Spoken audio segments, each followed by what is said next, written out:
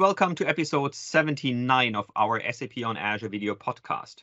Today is February 10th, and together with Robert and Goran, we are here to talk about anything related to SAP and Microsoft. Hello, everyone. Hello.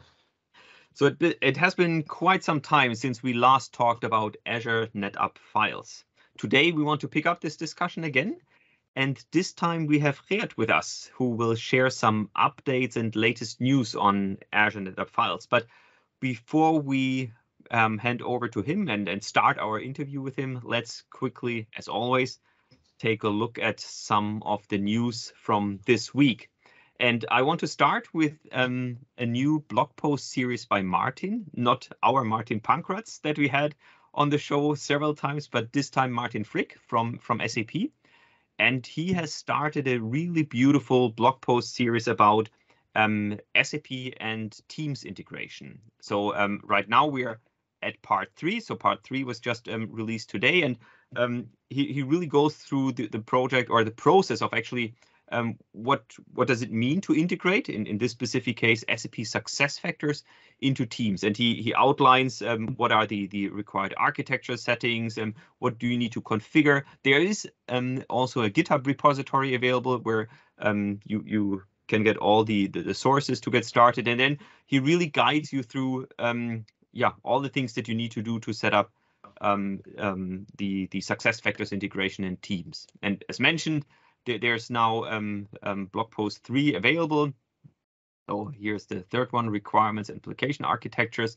And it's just, uh, yeah, I, I think you can, you should definitely follow along and create your own um, um, integration into into Teams. I think it's really powerful, and um, obviously you you might have seen already some some um, solutions from SAP and Microsoft, the SAP Sales Cloud integration, the SAP ByDesign integration, which is already available in the um, Teams App Store. And um, by following Martin's blog post, you can now also create your very own um, integration in in Teams.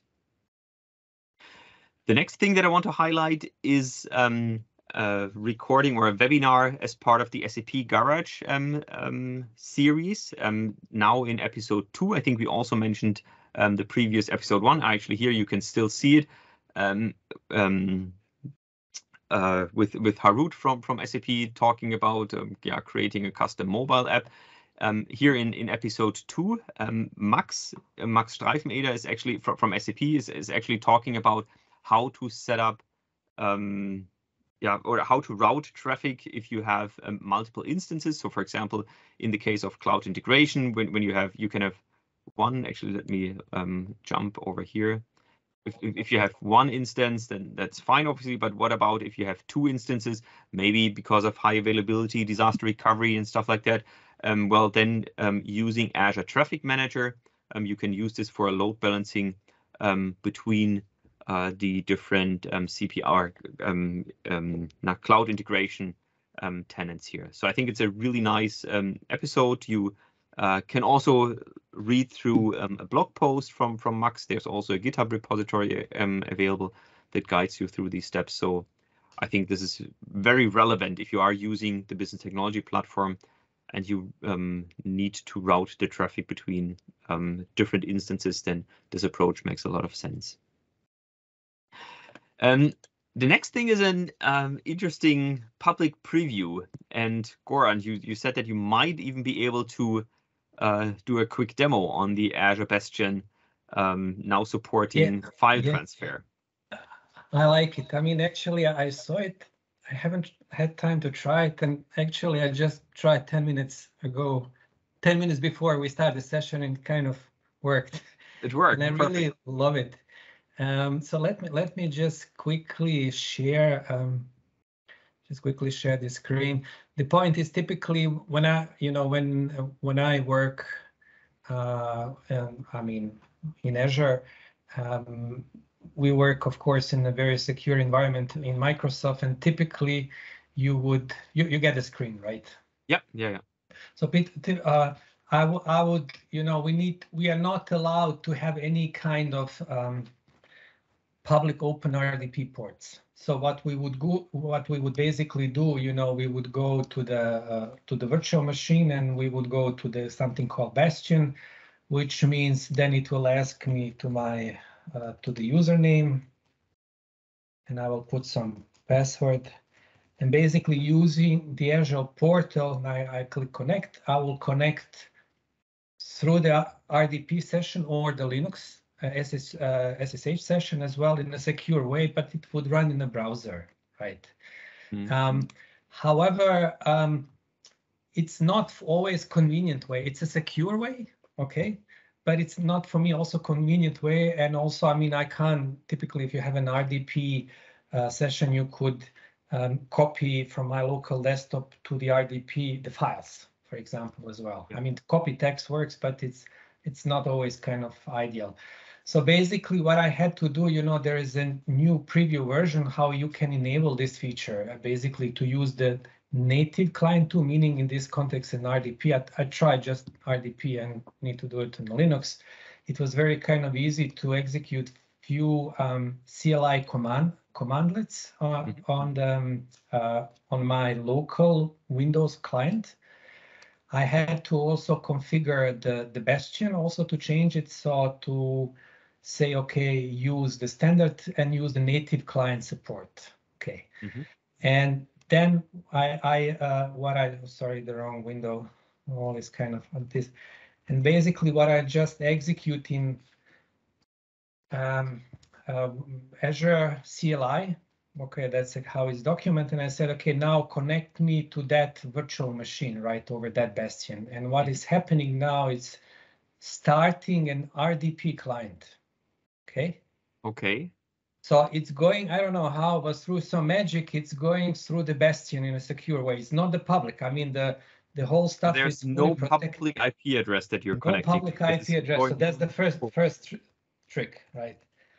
Um, so no public IP address. It's uh, only through the best Bastion has its own, of course, but it's then fully secure. somehow through some magic goes through through the Bastion. So for my uh, comfortable work, I love to use the RDP because it gives me also a kind of full uh, flexibility in some way. So again, that's that's the same. And I would and next stuff, so I can spread the win, win, win, window, which I won't do it now, but let me just open some local temp folder, okay? And let me go, this is my uh, local yeah. uh, um, Windows Explorer. I have some file, okay? I just open it, you know, okay, long live SAP on Azure YouTube channel, of course. what else? So I just do click, select it, click copy, and then jump into RDP. Ah, and cool. Paste, and here you are. And now, so via RDP, via Bastion, you can now yeah, drag yeah, and drop files, basically. Sure, sure. So same stuff should be possible as they said on um, through the SSH client. I just need to try it, but in 10 minutes I could do it in a private cool. preview and love it because I can just stretch it now. You know, I, am yeah. I'm stretching the whole stuff and that gives me definitely much more comfort what I need to to work in the RDP than I had in the browser session. Let me say. I so, agree. I agree. Yeah. For for me, that's also. I, I mean, I love Bastion, but you're always in this browser window. Of course, sure. you can go full screen or whatever, but but if you now really have RDP support, that that's really powerful. Yeah, yeah. So cool. maybe interesting tip, but helps uh, to still work in a secure way, but also have some kind of more comfortable way to do yeah. the stuff, right? And do more stuff like copy the files, which is typically for a RDP session possible, right? Perfect. Okay. So, so I think that's that's not only the announcement here that it is in public preview, but we saw it now live. It's really working. So that, that's also cool. 10 minutes. I, I could do it in 10 minutes. Perfect. I also need to do this in, in for my Bastion instances. Yeah. yeah. Okay. Cool.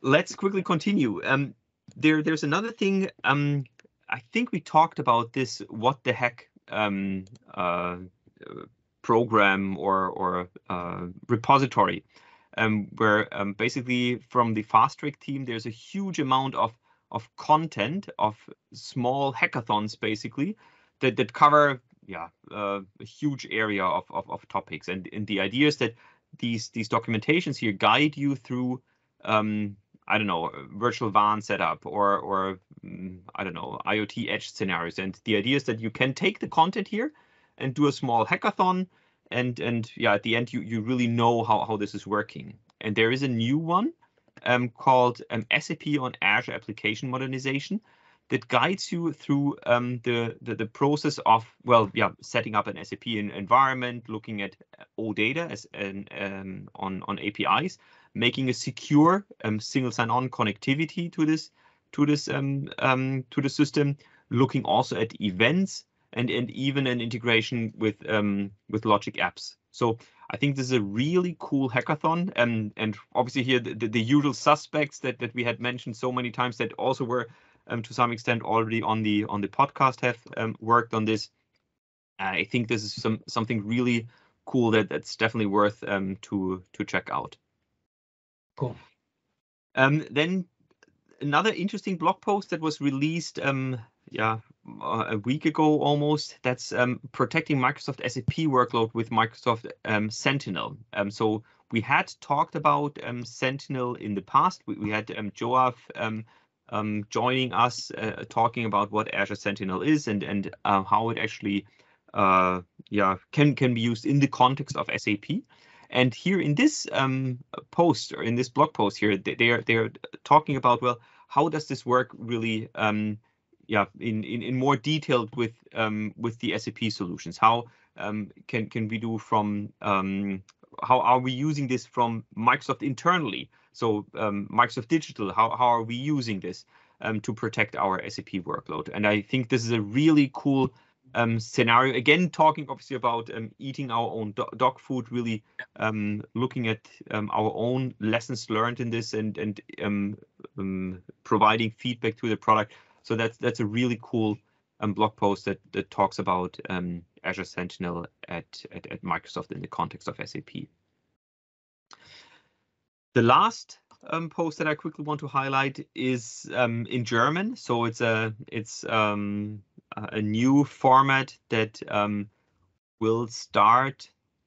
Uh, yeah, here end of March. So it's the Microsoft Business TV, um, mainly targeted at, at, at partners, and there in in some short um, sessions. yeah, the the, the the colleagues will will talk about um, yeah certain topics and, and present this to partners. Why am I um, highlighting this? Well, um, Robert is one of the the the um, TV hosts here uh, that will hopefully um, provide a lot of insights. Um, I'm I'm pretty sure about SAP, and and will help partners um, yeah learn more about SAP and Microsoft. Well, we have a competition here.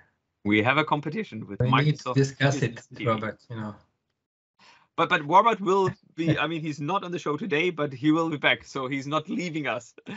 Uh, he's just taking up an additional um, TV fame. Good. So with this, that that was all for the the news from from this week. With this, um, yeah, we're we're happy to have Geert um, with us um, in the show today. So maybe Geert, before we go into the topic, maybe you can quickly introduce yourself. What are you doing? Um, what's your your yeah your history coming coming yeah. to where you are today and then let's kick Absolutely. it off. Absolutely. Yeah, yeah. Thanks, Holger and uh, Goran for uh, for having me. Of course, uh, first and foremost, uh, it's uh, I've been following the podcast for a while, and uh, you know it's it's it's nice to be now part of the part of the gig really. So i really like to uh, like it to be here. Really cool. So my name is uh, geert van teylingen. Um, i'm the product manager or one of the product managers for azure netapp files uh, which is uh, you know the, the, the storage service that we're going to talk about a little bit more uh, in this in this podcast. Um, I, am obviously part of a larger team of uh, product managers across the let's say Microsoft and NetApp Alliance. Um, I, uh, I I'm now at at NetApp uh, at, as part of the product management team, but I was at uh, at Microsoft before as a as a global black belt for advanced storage, and before I was at Microsoft, I was at NetApp uh, for uh, 10 years. So I've been ping ponging back and forth between the two organizations, if you will. Um, I actually wear two hats. I'm part of the, the of course of the NetApp team, but as, as equally as part of the the Microsoft team. So uh, yeah, I'm more than happy to be in the call here. Cool. It's really great to have you. Um, I mean, it was a lot of fun um, working with you in the past as a as a global black belt, and now I'm really happy to have you back here uh, as a as the product manager. Yeah, it's funny. To, it's funny that you say that. Actually, I was uh, thinking that my last business trip was actually when I was still at Microsoft. That was two years ago, and then this little virus came along, and then uh, you know it locked us in, and uh, I haven't been traveling since. So uh, I think I'm uh, I'm a cheap uh, traveler for NetApp from a NetApp perspective. yeah. But I mean, I have opportunity to just now work together with Geert on a one big customer migration project, European one. So with the Azure NetApp, yeah. So world is. Yeah, we might get to talk uh, about it a little bit, at least from a technology standpoint. So let's uh, oh, let's yeah, let's kick it off. Yeah, and, and let's actually, I mean, we mentioned now Azure NetApp files a few times, and and actually we, we already had, I think, a year ago some some sessions with Ralf Klahr who who talked about um, Azure NetApp files, but what is it? So Geert, maybe maybe you can talk a lot, little about um, what is Azure NetApp files? Yeah, and that's an interesting question because let's say at first glance you think about Azure NetApp files, of course, as okay, it has files in in the name, it has NetApp in the name, uh, probably some sort of storage, right? And uh, of course, fundamentally that is the case, right? It's a, it's a storage service in Azure, but there's a lot more to it, right? And and we're trying to achieve a lot more than just provide uh, let's say a place to store bits and bytes of uh, of data. And uh, I think it's best explained if I can kind of share my screen a little bit. I got a couple of slides to kind of set the scene, and then we can basically take it from there. And let's let's see if if we can get this to work obviously properly. Uh, you you, ne- you never know if that's going to work uh, uh, out of out of the gate. But I'm I'm sharing my screen right now here, right? No, let me yes. let me yep. let me redo it again. Let me redo it again because I got the wrong slide there real quick.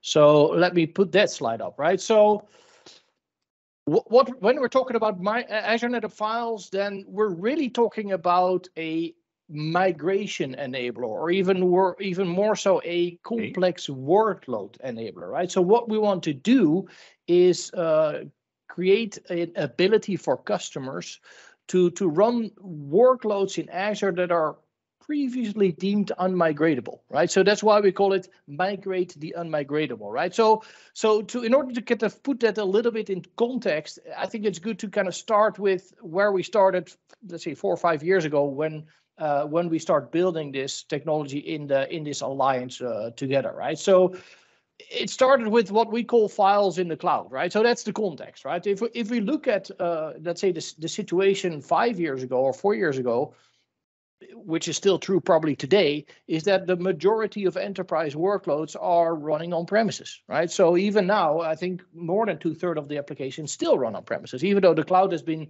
know, growing massively. I think the on-prem world is not sitting still either, and you know, we still have this situation where where where data is is is, is stored and applications are stored in an on-prem environment, uh, and we also know that about half of those, roughly, um, are stored, uh, uh, let's say, on an uh, from a data storage perspective on an enterprise NAS or file-based storage device, right? So we have applications that rely on file-based storage, and they typically run on an external storage device in the customer's data center, right? So that's kind of the starting point. And, and Microsoft basically at the time also realized that obviously these enterprises are now looking more and more uh, for ways to deploy these file-based workloads in the cloud, right? So they, we have a tendency to uh, to, or we see a tendency to migrate to the cloud, uh, obvious for obvious reasons. Like customers want to be empowered, right? Leverage the cloud for more advanced uh, businesses. Uh, but as they want to move to the cloud, they basically do not want to sacrifice. Uh, specifically for those applications that they've been running on premises for long, to sacrifice on a couple of key elements, and that's performance, reliability, and enterprise data management. Right. So customers really look for a way to keep what they have or let's say keep the experience that they have on prem, but find that in in Azure, right? And also customers do not want to re-architect everything, right? So not every application landscape is suitable for let's say massive modernization, right? Using cloud native uh, storage services or any of that sort, right? So, so as we move forward in time, um, Microsoft kind of came to the realization oh, that we, we, we need an enterprise uh, file-based storage service to fill this gap, right? So obviously there's a, there's other storage services in Azure, Azure Blob, uh, Azure uh, you know managed disk, uh, Azure Azure Files as well. But there was a clear need for a, a, storage service that could really provide these core capabilities: high performance, low latency storage, uh, high available, uh, reliable storage as well, and, and have advanced data management capabilities. Right. So that's when Azure NetApp Files came to life, right? So what we've built together is basically in, uh, fundamentally uh, NetApp all-flash storage systems, uh, but as a fully managed Azure service, right? So that means that from a storage portal or from an Azure portal perspective, we're providing a storage service that gives you the widest choice of file-based protocols, right? So all NFS versions are supported, SMB is supported, even dual protocol volumes are supported in the various mixes and matches.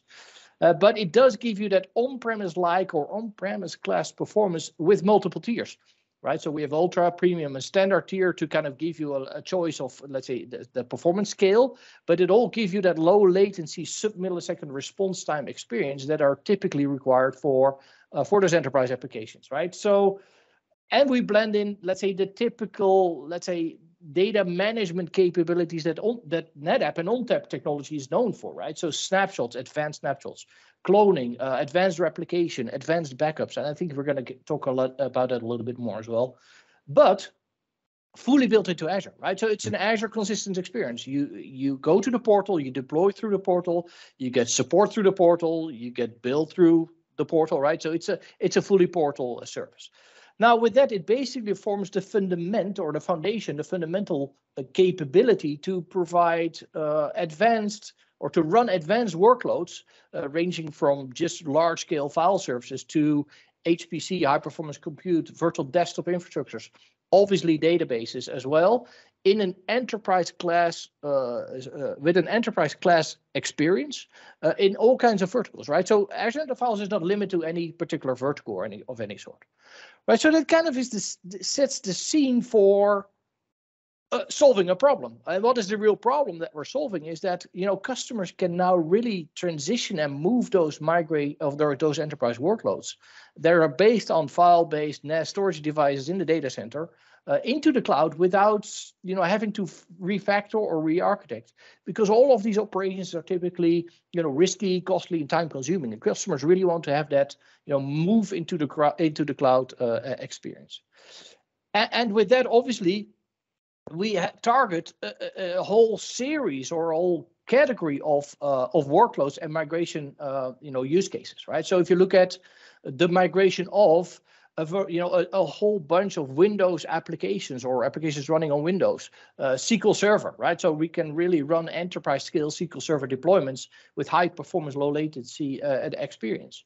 But also Linux open source applications and databases running on open source or running on Linux, like Oracle or MySQL or Postgres, really the, the, the database that you typically uh, see in a Linux environment.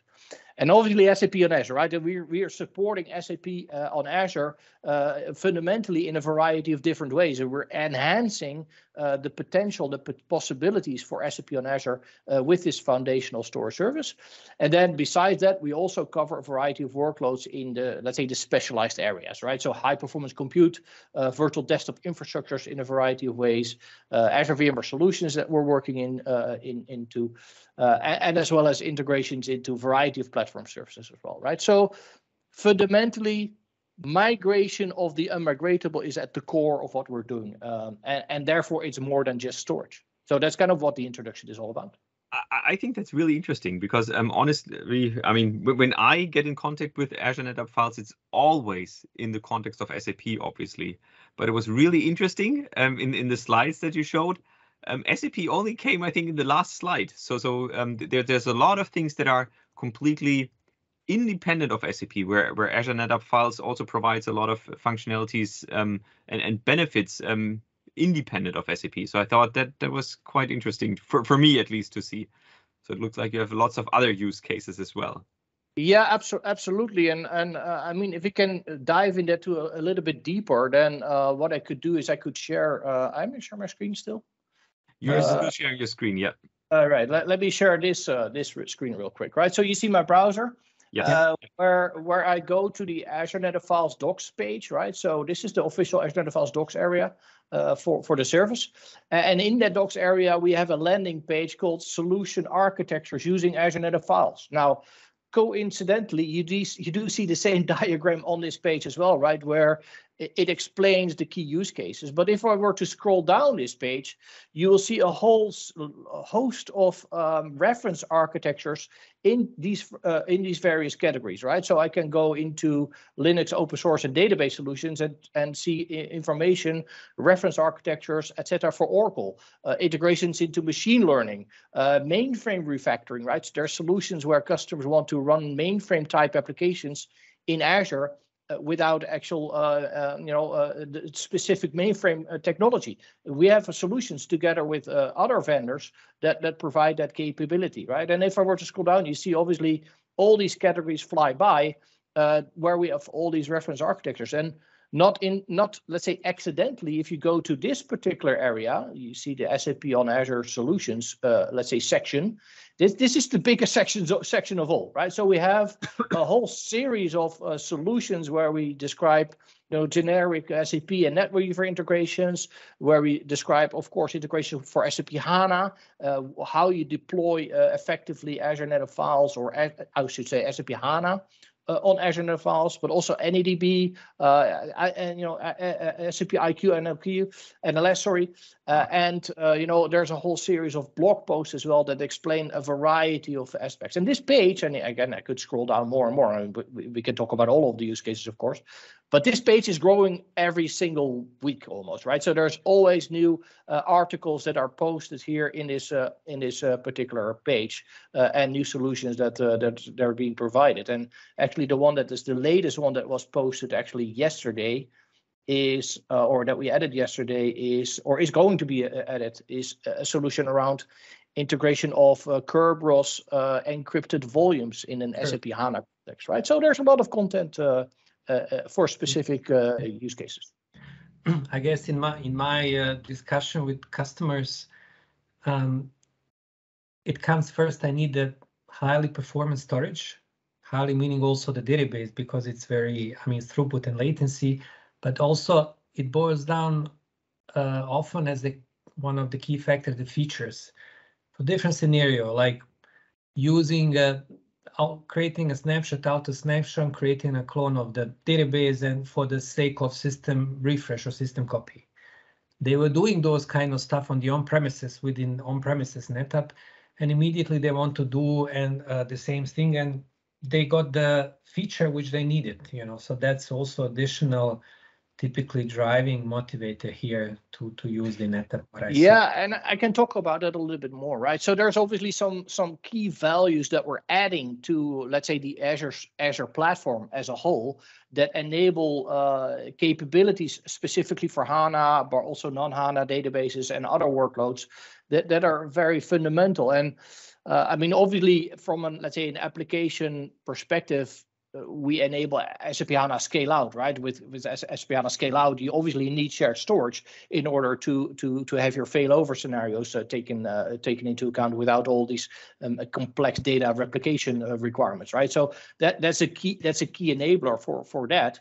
Um, we also enable large scale uh, Oracle deployments, right? I mean, think about an, a, a 10, 15, sometimes 50, sometimes 80 or even more uh, larger terabyte uh, database instances that, that you need to run in Azure. Uh, not only do you need to be able to run that quickly and uh, deploy that in a, in a in a simple way. You also need to be able to scale it in a simple way, right? So one of the advantages of azure Files is that you can scale your capacity uh, both upwards and downwards at any point in time without yeah. any application disruption, right? So if you need more capacity because your database grows, you can increase your capacity easily.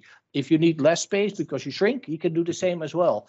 Uh, but not only from a capacity capacity standpoint, also from a performance standpoint, you can scale, right? So as you need maybe burst performance, you can increase your volume size and therefore increase your performance or your bandwidth, or you can decrease it when you when you uh, when you don't need it, right? Or you can change the service level uh, non-disruptively.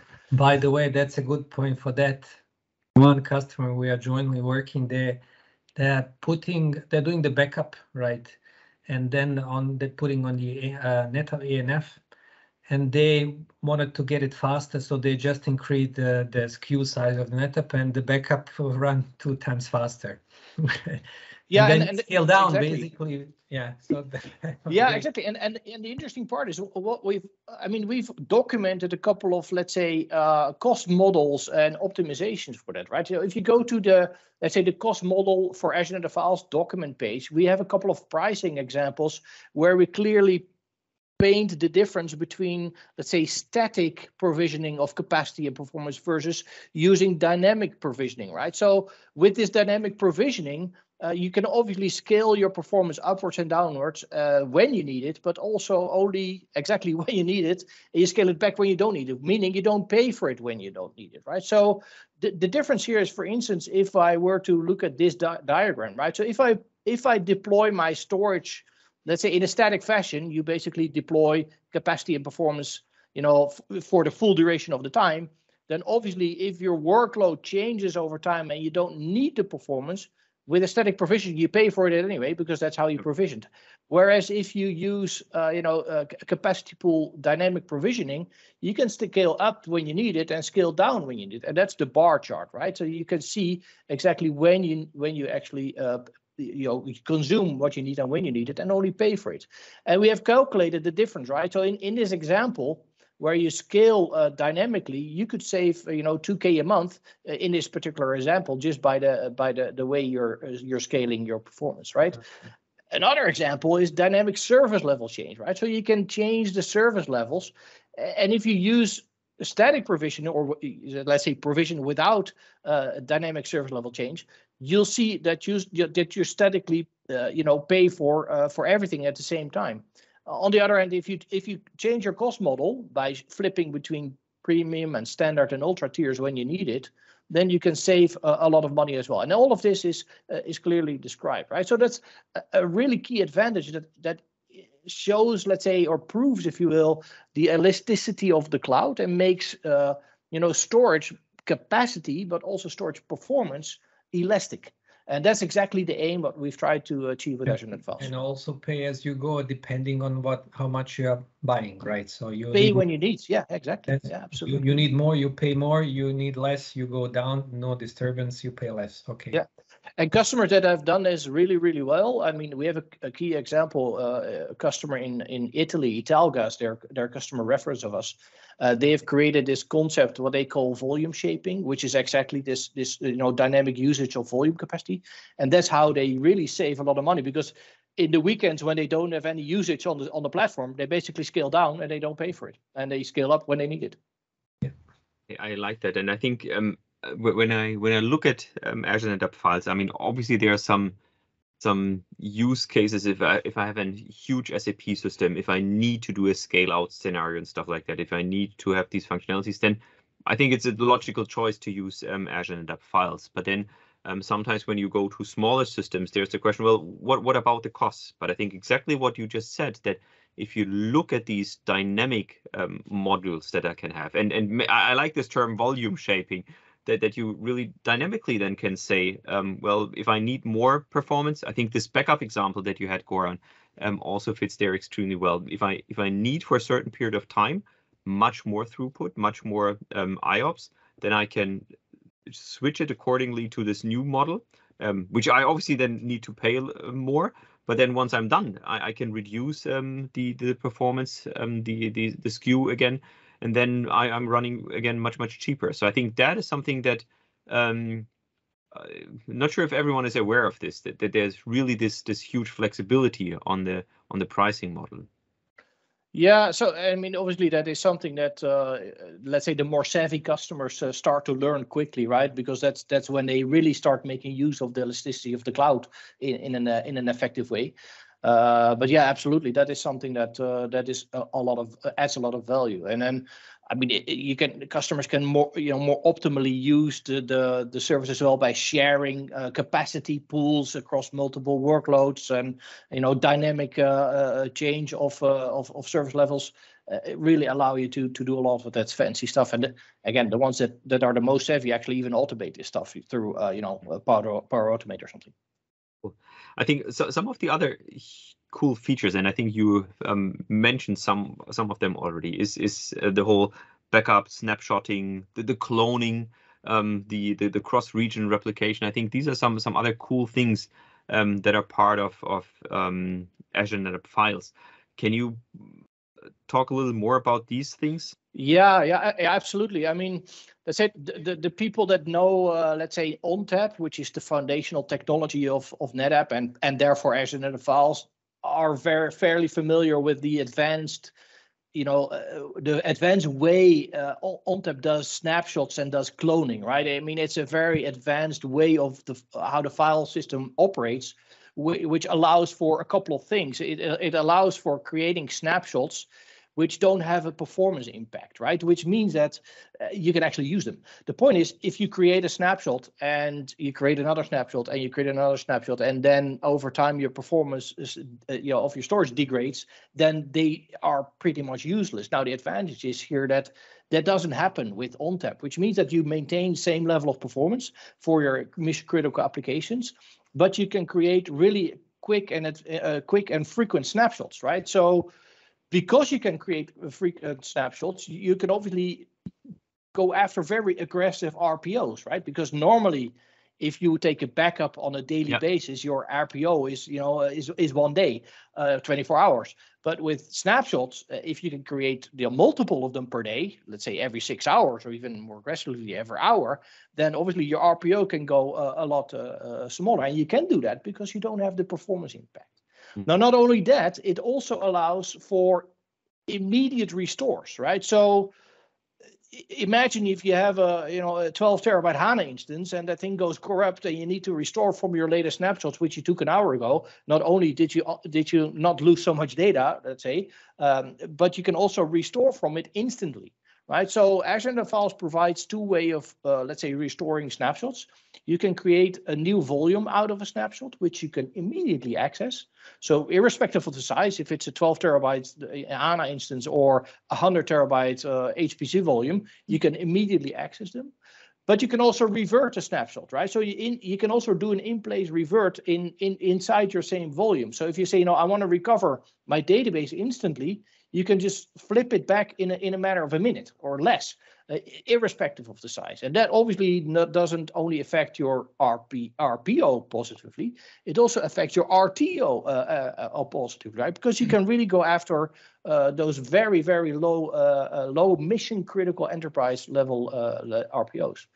And, and interestingly enough, we also documented this, right? So if you were to go um, let me see my browser here. Oops, it's flick, flicking back forward.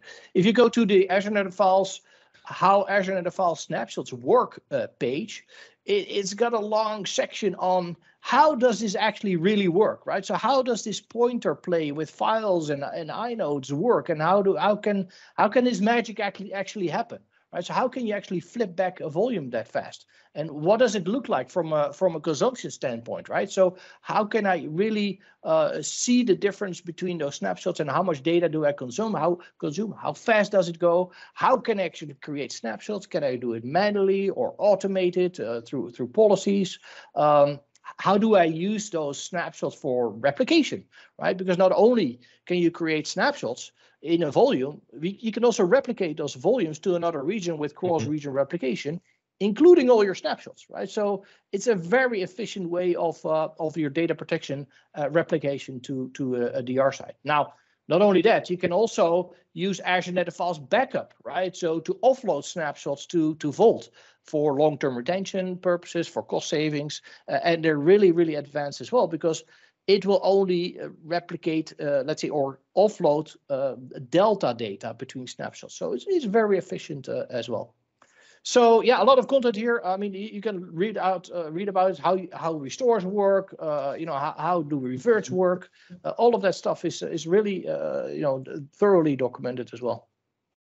Cool. Very, very impressive. And the the, the cool you know thing you know what's interesting, Holger? Some sometimes customers don't realize it, but you can actually blend in a lot of those functionalities, right? So imagine if you have a uh, test environment or a QA environment, um, because you have the need for it, right? But you also have a DR environment because yeah, you have the need for it. Then uh, why would you make that two separate environments, right? Why wouldn't you use your DR environment for QA as well. Mhm. Right. So we have a lot of customers that actually use cross-region replication with those uh, snapshots uh, replication and, and bring those to another region and use that data for cloning the data sets for test and development purposes, right? So you basically take a snapshot, restore to a new volume, and off you go for a test dev uh, you know, scenario uh, or a QA scenario, uh, effectively using the DR copy for actual use, right? Because you know how many customers live in a DR scenario? You know, 99% of the day, no, nobody, no, of the time, nobody does, right? So it's it's really something to effectively use. So a lot of customers use that kind of stuff. No, there, there, there's a really a lot of um, uh, values around it. Performance plus features, uh, which basically enables a different scenario which can be combined. So mm, definitely, it's a very good value proposition for for SAP on Azure customers. Yeah, uh, absolutely. So I mean, all these things are already available, obviously, that you that you just showed us. Um, they're documented. Um, is there anything? I- I yeah, guess there, there- there's lots a of lot moving available. There's still more coming also, but we'll we'll get to that later. Uh, there's, I mean, we're, we're it's a service that's rapidly evolving, right? So there there's a lot more on the let's say on the plan. Uh, we can maybe talk a little bit about it later, but uh, you know we, we have a lot more plans for for the service. Cool.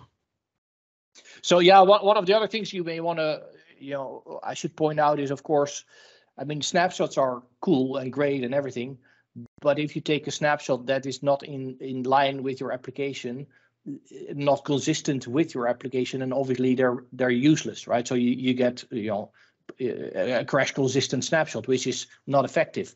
Uh, most customers, when they actually use a like a database or HANA or any of that sort, need some consistency for for those snapshots, right? So so that's that's where um, you know AzAcSnap is the you know the tool that you just you've been uh, made available already in in the HANA large instance uh, world uh, is now also available in uh, with Azure NetApp Files for for HANA uh, VMs as well on Azure NetApp Files, right? So so, so that really helps you to orchestrate and whole end-to-end, let's say, application consistent data protection mechanism uh, with all the the integrations into catalogs as well.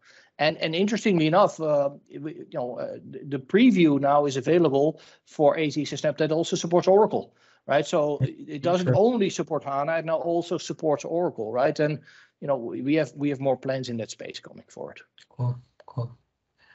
So, so I believe we we we have some follow-up sessions here with you, Geert. Yeah, yeah. Well, there's there's there's there's so much more. Um, uh, we talked about Coming, cloning. We talked about cross-region replication.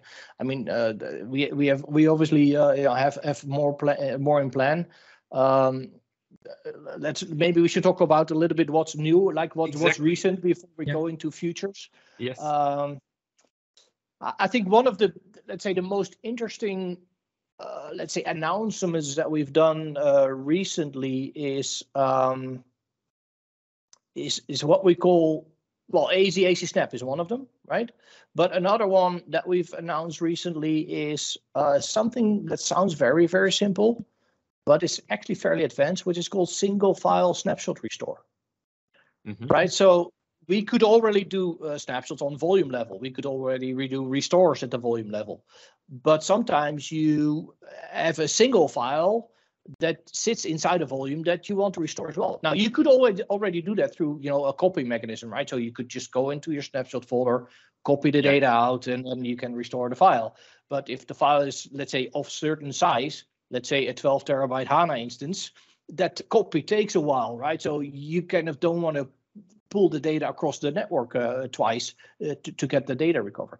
Now we've we've we've uh, uh, released a tool called Single File Snapshot Restore, which basically allows you to give a file name and have the system restore that file for you in place Mhm. right? So imagine you have a 12 terabyte data file, HANA data file. You only want to restore that file, not everything else. You can now call this operation, and that data file gets restored instantaneously to the last version of the snapshot that you chose, right? So that obviously again gives a lot of granularity and a lot of uh, improvements in your RTO times uh, for Yeah. for data recovery.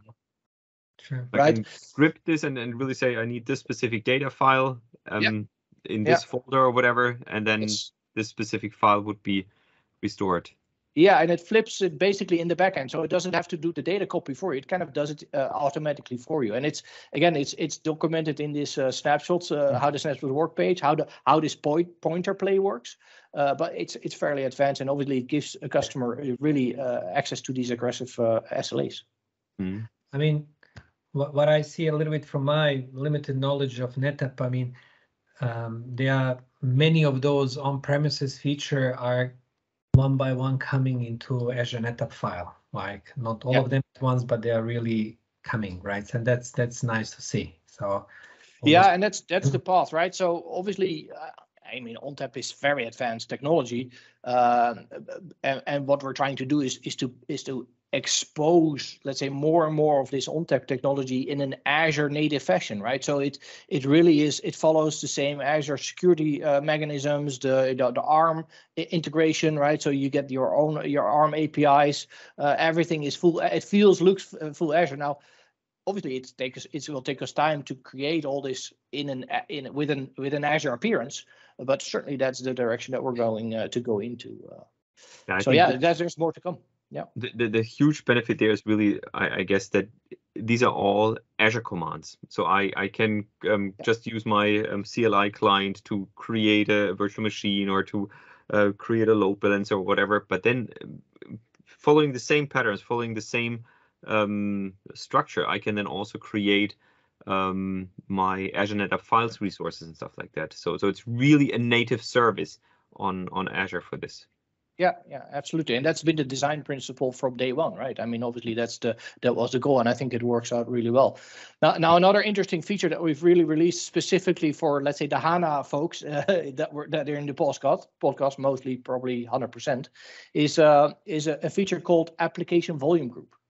Right? So uh, obviously, as you deploy a Lahana landscape, you need multiple volumes for your landscape. You need your data volume, you need your log volume, uh, you potentially need some shared uh, files volumes, you need uh, your your backup volume, right? All of that needs to be uh, needs to be deployed. Now, obviously, you can go off one and deploy all them manually, but one by one. Um, but it's a it's a lot of work. Uh, B, it doesn't, it's, it's, let's say, potentially error prone because you may miss a few, let's say, optimizations in the process, Mhm. right? And also, it doesn't necessarily, um, let's say, lay out your volumes in the storage bucket in an optimal fashion, right? Because it doesn't really, if you do stuff manually, it doesn't, you know, the one volume deployment doesn't look after the second volume deployment, and you don't get those uh, those optimizations. Now, application volume group does a lot of that in one go, right? So application volume group allows you to basically, uh, it- it's going to ask you a bunch of questions about about your SAP landscape, and it basically based on what you enter, create the volumes according to best practices. Uh, but not only the, let's say, all of the volumes, it also will lay out the volumes in an optimal fashion, and it will potentially even create multiple storage endpoints or IP addresses for performance optimization as well, right? So uh, there's a lot of that, uh, uh, let's say, automation for error error-free and and uh, optimized deployments. Mhm. A- And, and thirdly, yeah, yeah, and thirdly, I wanted to finish it off. What, what it also does, it integrates with proximity placement groups, right? So it will ensure that your uh, your HANA virtual machines, your M series virtual machines, are in close proximity with the Yeah. storage as well to ensure those low latency deployments, right? So it's really advanced uh, technology. Right. So basic, when you say application specific, let's say for the HANA, the storage layout is a bit different than for the Oracle. Yeah, I mean, I Which mean, means obviously, y- yeah, yeah, yeah. And even worse, that and you know, Oracle is even different than an HPC landscape or uh, a VDI landscape, right? So we're covering all of these application landscapes, and all of them have their own, let's say, peculiarities of, or optimizations Yeah. that that you want to keep in consideration, right? So, I mean, application volume group is uh, for SAP HANA is let's say the first uh, uh, release of this technology. It's the first application uh, that we're supporting uh, with this. Uh, but yeah, and uh, you know maybe it's a good bridge to to the what's to come. Uh, uh, obviously, in the future, we're looking at expanding application volume groups uh, to other workloads as well. You know, think about other databases. Think about you know even totally you know totally different applications as well that that will need that optimization. But other databases, other databases. I mean, you are already supporting quite a lot of databases, as we as we saw. So yeah, you know, Azure NetApp Files itself obviously supports you know many databases. I mean, you can run SQL Server on Azure NetApp Files, you can run Oracle on Azure NetApp Files, you can run uh, you know MySQL, you name them. Uh, pretty much anything that uh, that runs uh, on an NFS uh, mount point kind of works with with Azure NetApp Files, right? So a lot of that, and we have a lot of that documented, right? But what we what we don't have yet is application volume group, the application Ah, volume okay. group feature yes, uh, you know, to to to automate all these optimized deployments. We have that for HANA now, uh, and and we're looking at uh, expanding that across these other workloads uh, or databases uh, potentially as well that we're that we're looking for. So, so what other things? I mean, you, you already mentioned a lot of things that, that will also come. What- what yeah, other- I mean, uh, What's a personal highlight for you that you're looking for? a personal highlight? Well, let, let's put it this way. So uh, Azure NetApp Files, uh, there's so many highlights. I don't even know where to, where to start. Uh, So Azure Files historically was built as an as a regional service, right? So it- it's a it's a service, uh, a regional service, and that's how how it started uh, four years ago, five years ago is when it's designed, and that's also. Uh, let's say how most Azure services were built uh, back in the day. Now, uh, availability zones is an air is an area of uh, increased interest, right, across all Azure services. Now, that's some something that we're we're, we're going to look at as well, right? So if you if you look at the the future, then obviously attention towards availability zones uh, and support thereof is is something that we have uh, that we have in mind. Um, other areas is um, you know these automated deployments you know that, that I mentioned right? So application volume group uh, for HANA is certainly not the last thing that we're gonna that we're gonna offer. Um, integration of those technologies uh, is is uh, something that we're eyeing. Uh, I mean if you look at the the snapshot functionality the data protection functionality uh, the integration with Azure NetApp Files backup um, you know, cloning optimizations. We have a few cloning optimizations in mind that, that we can bring to bring forward as well, which which will bring even more value to customers. So let's say a, a lot of this, the, the things. If you look at the previous or the, the initial themes, let's say, uh, uh, you know, performance. Uh, reliability and high availability and data management as the as the three pillars of Azure NetApp Files in all of those areas we'll advance uh, the service right? So we'll, we'll add more and more let's say performance options. We'll add more uh, you know uh, reliability and availability options. Uh, we'll add more uh, data management uh, options as well. A full backlog. yeah yeah yeah. Uh, it's uh, it's amazing. And i mean if you look at the customer base it's uh yeah it's pretty uh, impressive. Uh, i mean i could show you a few uh, customer reference examples. Uh, let me see if i can quickly find them. Um, uh, let's see. Uh, share my screen. Obviously i lost my my view my viewpoint now.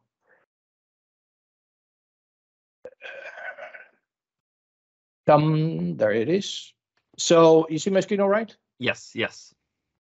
Yeah, so so one example is, uh, for instance, customer Petrofac, right? I mean, it's an oil and gas company uh, hit by the pandemic back in the day, uh, needed uh, remote work, uh, you know, a quick quick deployment of remote work for remote work, right? So v- virtual desktop was all of a sudden very important to them, um, and that's where uh, you know Azure NetApp Files really helped scale their um, you know their Azure Virtual Desktop deployments, right? With uh, FSLogix profile containers, which require shared storage, right, at scale, right? So that's that's a key example of a workload that's nothing per se to do directly with SAP HANA, but Azure Virtual Desktop, as you know yourself, is is a, is is the is your window into Azure pretty much, right? So we have more and more customers that are going to rely on Azure Virtual Desktop, and Azure Net is is a key enabler for for that workload alone. Um, and again, it's just an example. Uh, if we if we move forward a little bit, uh, you know, Repsol, it's another customer Mhm, um, that runs an oil and gas uh, simulation, uh, um, uh, you know, uh, environment on Azure uh, with Azure NetApp Files, right? So they came from an on-prem world, and uh, basically they they realized that in in Azure they could run their jobs way way faster than they could ever run them on-prem, right? So massive enabler for a totally different workload than SAP HANA, uh, reservoir simulation. Uh, another customer is CONA, yeah, the Coca-Cola One uh, company. I think you know them. One of the you know probably biggest SAP HANA migrations uh, of recent, uh, totally uh, powered by Azure NetApp Files, right? So scale deployments yeah. um, for for Azure NetApp Files scale out. I think I think was part of this conversation as well. Mm-hmm. Um, and then at last but last but not least, uh, I would say SAP HANA or sorry SAP themselves, right? So SAP, I think it's an interesting case study uh, where where SAP themselves, uh, you know, being part of uh, let's say the HEC offering, uh, allows them to go to market faster uh, using Azure Files, right? So. I think the the examples are um, are massive, and yeah, it, has been an interesting ride. I think since the last time we spoke, or since the last time you had Ralf in the in the call, um, yeah, we've we have had major we've made major uh, uh, you know moves forward uh, over over the last year, uh, not only in the technology, uh, but as you can see also in uh, let's say the deployment and the usage of the service. Mm-hmm. I mean, for me, this I mean you, you showed some some amazing customer examples, and um, obviously CONA and, and, the others are very very really impressive. But what what I always like to to, to point out is is the SAP showcase itself. And um, similar, like I mean, what, what we've been saying all along um, when we when we look at SAP at Microsoft, that Microsoft runs SAP, um, SAP runs um, runs on Azure. Um, and then here you have the, the beautiful um, additional example that also they're also using Azure NetApp files in, in their scenario. So I think that's always a really, really powerful story when you actually see the the vendor that, that is providing the software to lots of customers and partners that they are also using Azure NetApp files for their um, for their productive instances there. So I think that's always very impressive. Yeah, I don't think it's I don't think you can get a better testimony of of let's say of what you've been trying to achieve right i mean what we've been trying to achieve is migrate unmigratable workloads to azure right uh, and it's a it's a key example uh, so yeah I, we couldn't be more happy and prouder than than yeah actually you know having SAP on the platform themselves. Yeah, absolutely. Cool. Wonderful.